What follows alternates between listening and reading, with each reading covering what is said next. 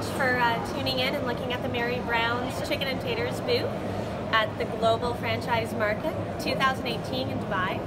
We're very excited to be here. Uh, we are a 50 year strong brand right from Canada. We were born in 1969 in St. John's, Newfoundland. We're one of the fastest growing franchises in Canada right now.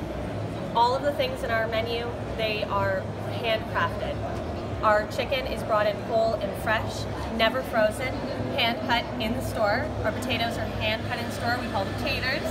And all of the things that we make in our restaurant, they're all based around a signature product, which is fried chicken.